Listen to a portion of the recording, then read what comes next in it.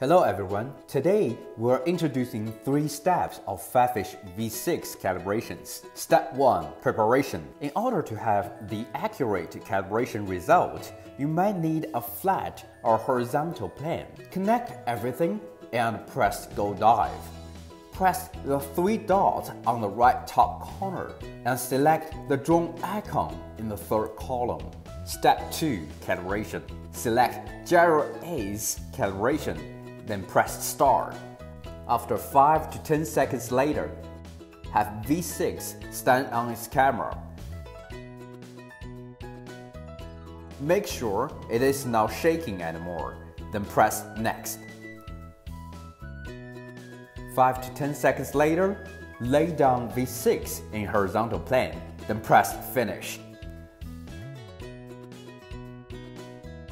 Magnet sensor calibration you might need more space and tensor for this calibration. Put V6 on a flat and horizontal plane. Select Mag calibration, then press star. Make slow and smooth rotations only in clockwise.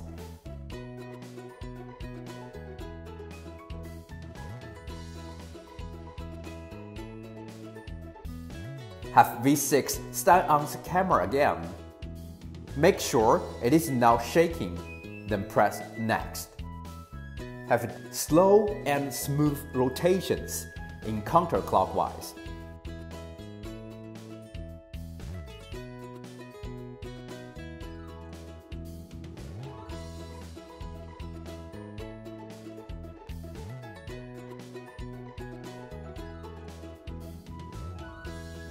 Remember to press Finish to let the system to memorize your settings. Step 3. Reboot V6 when you have finished calibrations. Congratulations, the V6 calibration has been completed. Thank you for watching, see you next dive.